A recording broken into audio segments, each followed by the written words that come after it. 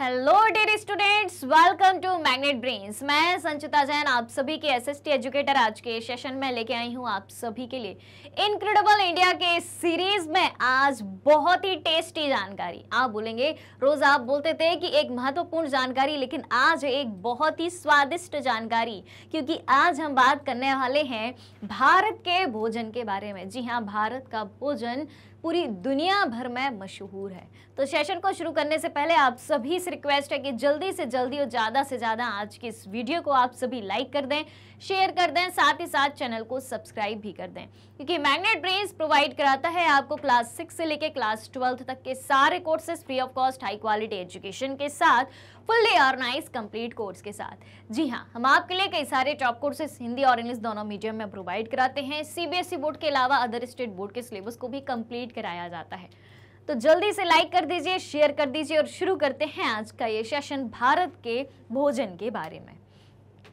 हम सभी जानते हैं, भारत जो है, एक बहुत ही ज़्यादा डाइवर्सिटी वाला देश है, यानी कि विविधताओं से भरा हुआ देश है। यहाँ पर अलग अलग प्रदेश हैं अलग अलग जगह की संस्कृति अलग अलग है रहन सहन अलग है, धर्म अलग अलग है तो भाई खान पान भी अलग रहेगा कि नहीं? खान पान में भी विविधता दिखाई देगी। भारत में विविधतापूर्ण भोजन की संस्कृति है, जिसमें विभिन्न राज्य और क्षेत्रों के अपने विशेष व्यंजन होते हैं। उत्तर भारत हो, पूर्वी भारत हो, पश्चिमी भारत हो, दक्षिणी भारत हो, मध्य भारत हो, हर जगह आपको विशेष व्यंजन दिखाई देंगे। हर जगह का आपको एक अलग और अनूठा स्वाद दिखाई देगा। तो चलिए, समझते हैं आगे की बात। अब देखें हम अलग अलग दिशाओं के आधार पर भोजन को देखते हैं। उत्तर भारतीय भोजन की सबसे पहले हम बात करें तो नॉर्थ इंडियन फ़ूड में आता है रोटी, पराठे, नान, दाल, सब्ज़ियाँ, पनीर, राजमा, छोले। जी हाँ मुँह में पानी आ गया सुन के, अभी और मज़ा आएगा। ठीक है, सिर्फ़ आपको सुनने को मिलेगा, अभी खाने को नहीं मिलेगा। दक्षिण भारतीय भोजन में आप सभी को पता है कि इडली, डोसा सांबर ये सब फ़ेमस होते हैं वहाँ पर। पूर्वी भारतीय भोजन की हम बात करें तो माछीर झोल, मिष्टी दोई पिते लिट्टी, चोखा, ये सब जो है पूर्वी भारतीय भोजन है। पश्चिमी भारतीय भोजन की अगर हम बात करें तो ढोकला, थेपला, पूरन पोली गोवन फ़िश करी, ये सब फ़ेमस होता है। ठीक है? इसके बाद प्रमुख सामग्री की बात करें कि आखिर भारतीय भोजन को बनाने में किन किन सामग्री का प्रयोग किया जाता है? तो सबसे पहले बात करते हैं हम अनाजों की। अनाज में सभी जानते हैं, चावल, गेहूँ, बाजरा, जौ, कई सारे अनाज होते हैं। दालों की बात करें तो मसूर, अरहर, चना, मूंग। मसाले की बात करें, क्योंकि स्वाद तो खाने में किससे आता है? मसालों से ही आता है। हल्दी, धनिया, जीरा, गरम मसाला एक्सेट्रा ये सब मसालों का प्रयोग होता है। सब्जियों की बात करें तो आलू, गोभी, पालक, बैगन, भिंडी, कई सारी ऐसी सब्ज़ियाँ हैं। फलों का प्रयोग होता है मिठाइयों की बात करें। गुलाब जामुन, रसगुल्ला, बर्फ़ी, लड्डू, पायसम। पायसम को खीर बोला जाता है। ये सब चीज़ें भारत के अंदर ही बनती हैं और भारत के प्रमुख भोजन के रूप में जानी जाती हैं। पेय पदार्थ की बात करें, यानी कि बेवरेज की बात करें, खाना की तो बात कर ली, अब पीने की भी बात करें तो चाय, कॉफ़ी, लस्सी, ठंडाई, नींबू, पानी, ये मुख्य रूप से पेय पदार्थों में आते हैं। विशेष पेय की बात करें तो दक्षिण भारत में कॉफ़ी में भी फ़िल्टर कॉफ़ी का प्रयोग सबसे ज़्यादा किया जाता है, और उत्तरी भारत की बात करें तो चाय, मसाला चाय ठीक है, यानी कि चाय और कॉफ़ी जो है मुख्य पेय पदार्थ है। ऑल राइट अब खाना पकाने की विधियों की बात करें। भाई कौन कौन सा भोजन बनता है? ये बात कर ली। किन चीज़ों से बनता है? वो बात कर ली। अब बनता कैसे है? खाना पकाने की विधियाँ क्या है? भारत में तो देखें तवे पर खाना बनता है, तंदूर में खाना बनता है और भुनने के द्वारा यानी कि सेकने के द्वारा खाना बनता है उबाल कर खाना बनता है, तल, तलने के द्वारा यानी कि घी या तेल में डीप फ्राई भी खाना होता है। ये होती हैं खाना पकाने की विधियाँ। प्रेशर कुकर का भी प्रयोग होता है, जिससे धीमी आँच पर खाना पकता है। उसके बाद खाद्य संस्कार की बात करें।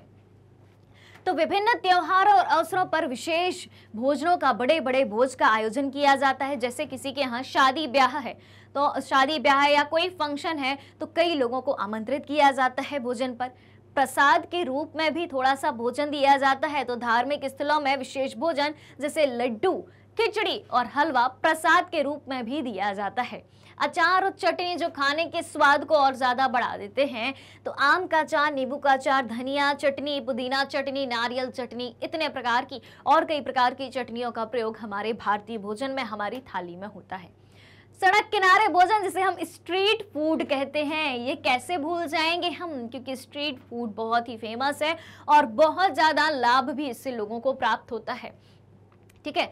तो भारतीय स्ट्रीट फ़ूड की विविधता और प्रसिद्धि की बात करें तो स्ट्रीट फ़ूड में क्या क्या मिलता है? फुल्की चाट यानी कि गोलगप्पे, भेलपुरी पाव भाजी समोसा, कचौड़ी और कई प्रकार के फास्ट फ़ूड भी हमें स्ट्रीट फ़ूड में देखने को मिलते हैं।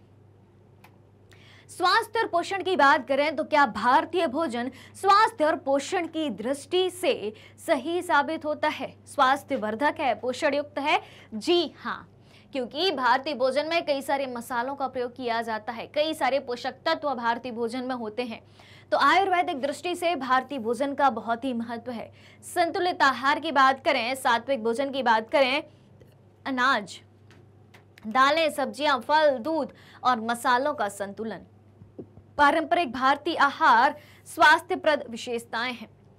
पारंपरिक भारतीय आहार जो है, हमारा पुराना भोजन है। फास्ट फ़ूड तो भाई दुनिया के अन्य देशों की देन है, लेकिन जिसकी चर्चा हमने करी है, वो शुद्ध भारतीय भोजन है। क्या यहाँ पर इटालियन न्यू इटालियन और चाइनीज़ और जापानीज किसी और डिश का मैंने नाम लिया? ठीक है, मंचूरियन, चाउमीन, आपके मोमोज, पिज़्ज़ा, बर्गर, इनका नाम लिया नहीं, क्योंकि ये भारतीय व्यंजन नहीं है। पूरा की पूरी जितनी बात हमने करी है, वो भारतीय व्यंजन की ही करी है। तो जो पारंपरिक भारतीय आहार है, उसकी कई सारी स्वास्थ्यप्रद विशेषताएँ भी हैं। खाद्य संयोजन की बात करें कि खाना कैसे खाया जाता है?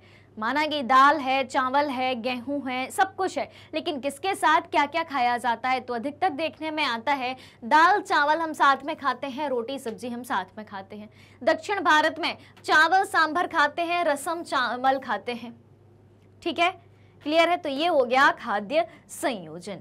विकास और आधुनिकता की बात करें तो पारंपरिक व्यंजनों में अब आधुनिकता का समावेश हमें दिखाई देता है।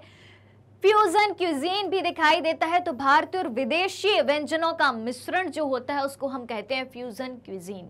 ठीक है? भारत का भोजन, उसकी समृद्ध सांस्कृतिक धरोहर और विविधता का प्रतीक है। प्रत्येक राज्य और क्षेत्र के अपने विशेष और अनूठे स्वाद होते हैं, जो पूरे देश की विविधता और सांस्कृतिक पहचान को दर्शाते हैं। तो ये रही जानकारी, एक स्वादिष्ट जानकारी, भारतीय भोजन के बारे में। और भारतीय भोजन के बारे में आप क्या जानते हैं तो जल्दी से कमेंट करके मुझे बताइए, आपके हर एक सवाल का जवाब दिया जाएगा। All right right. अगर आप हमारे डेली के लाइव सेशन और रिकॉर्डेड सेशन से जुड़ना चाहते हैं, सारी चीज़ें उपलब्ध हैं मैग्नेट ब्रेन्स के यूट्यूब चैनल वेबसाइट और एप्लीकेशन पर। मैग्नेट ब्रेन्स इंडिया का number one hundred percent free online education platform है।